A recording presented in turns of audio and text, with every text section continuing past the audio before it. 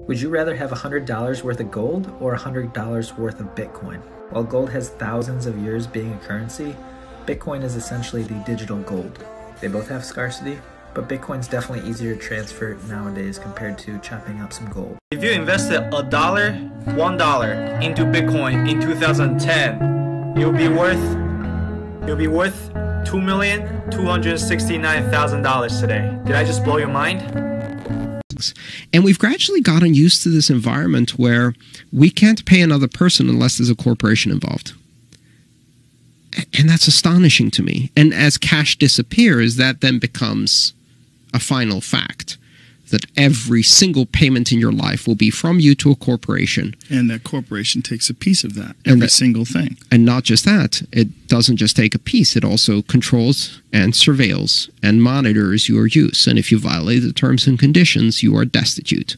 Every once in a while, someone comments and says crypto is a scam. But you know what's the biggest scam of them all? Central banks and money printing. Just because of this coronavirus, the US has printed 1.5 trillion dollars. That's 1.5 thousand billions. They call this quantitative easing and they said, oh, it's to prevent unusual disruptions in markets. You might think this is great. Oh, they're printing money to put in your pockets, right? No, the money is going into their friends' pockets, the richest of the richest. They do this because in times of turmoil like right now in the world, people stop buying stuff and they stop buying stocks and economic activity goes down. And thus we have a deflation where things get cheaper and people can actually live their lives frugally. This is what we want. We want cheaper prices when stuff is going down in the world and we're not working. But the government doesn't want that. They want you to keep spending a lot of money and keep the prices high. Why? Because they have powerful friends they want to please. They want to have that disparity in this society. That's the biggest scam.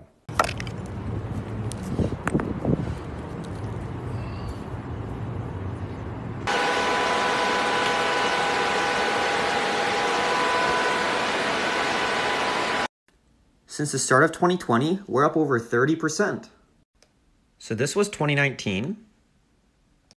And this is 2020 so far.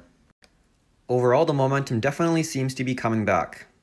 Bitcoin's currently trading at 6,878. Some people believe in the upcoming months we could retest the $20,000 highs or rocket even higher than that. The reason being an event that's coming up in the next 20 days. It's called the halving or the halvening. Currently, when a miner validates transactions within a block and appends it to the blockchain, they're rewarded with 12.5 Bitcoin for solving the hashing algorithm. And this issuance of Bitcoin is the only way that you're adding to the economic supply of Bitcoin. So with the halving, the 12.5 Bitcoin reward goes down to 6.25. So there's less Bitcoin in the supply. If you're looking at a supply and demand chart on daily price and you lower the amount of supply that's out there, theoretically, if demand stays the same, the price should go up. And this happens around every four years. So let's look at what happened in the past. The first halving took place in 2012, and 369 days later, you reached an all-time high, 8,000% return. Second halving, you had 526 until the next all-time high, 2,900%, and now you have the third halving. My personal opinion, we hit a new all-time high at the end of 2021 or beginning of 2022.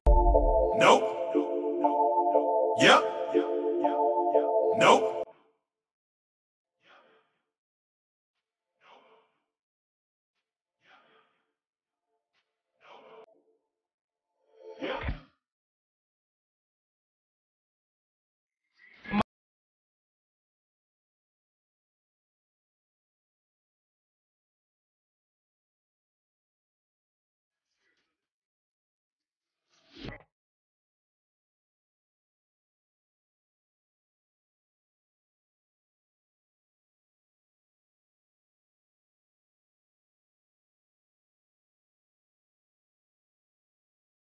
Made, so you bagged him. Ah, I'm a savage.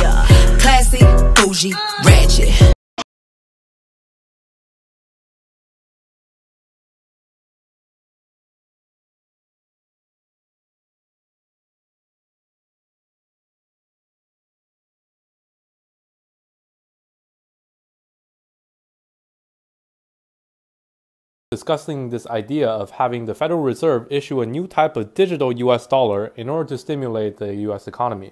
Now, printing money is one thing, but having a digital money printer is a whole different idea. Now, for one, it is kind of a smart way to convince people of this new type of digital currency that is easier to use so it doesn't leave a sour taste in people's mouth when they inflate the money supply. But the problem with this is that when everything goes cashless, everything becomes traced by the government. Right now, you use your credit card and your bank account, and they can be traced. And with your Apple Pay and Google Pay, yes, they're collecting your data. But it's not so directly by the government. And you do have the option to deal in physical cash. But if everything is cashless, there is no physical cash that you can go to that is pseudo anonymous. Your taxes will be automatically deducted. You can't dispute any fines or fees. You can be shut out from not just one bank account, but the entire monetary system if they don't like something that you do. Bitcoin, in this case, can be the digital replacement of cash. So you see a squeeze. The price is making lower highs and higher lows. So the price has to make a decision either to go to the upside or to go to the downside. And ideally, you want to see a validation of a new support or resistance, like so, before you enter. So, one by one, we got our push, we got our first pullback, we get another injection of buy volume, we get our second validation that it's a support, and that's where we entered right here at the one hour close, where we know that we have two zones where we validated the price as a support. Take profit one, take profit two, take profit three.